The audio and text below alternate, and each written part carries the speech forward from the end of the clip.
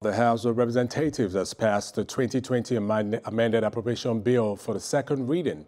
The budget, which was increased from 10.279 trillion naira to 10.509 trillion naira from the original 2020 budget of 10.594 trillion naira, passed by both chambers of the National Assembly in December 2019, is aimed at cushioning the effect of the oil price fall, as well as the backlash on the nation's economy caused by the global outbreak of the coronavirus.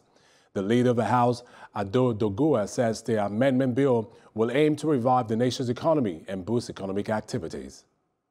Right Honorable Speaker, Honorable Members, I rise to move that a bill for an act to amend the Appropriation Act 2020 to authorize the issue from the Consolidated Revenue Fund of the Federation the total sum of 10 trillion 509 billion 654 million 33,000 53 naira only, of which 398 billion 505 billion 979,362 naira only is for statutory transfers.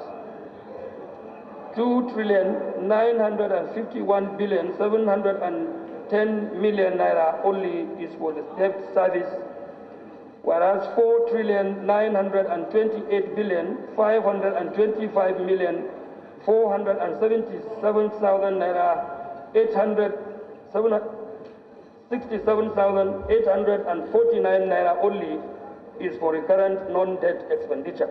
I mean, I agree that we need to diversify. But the question is, can we diversify now in 2020 and get the income now? No.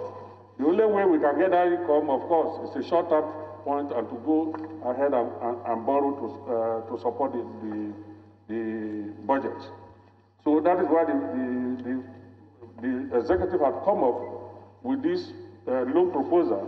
Because if we don't approve the loan proposal that, has, that, that is before us too, along with this budget, what it means is that this budget, even if we pass it, cannot be funded.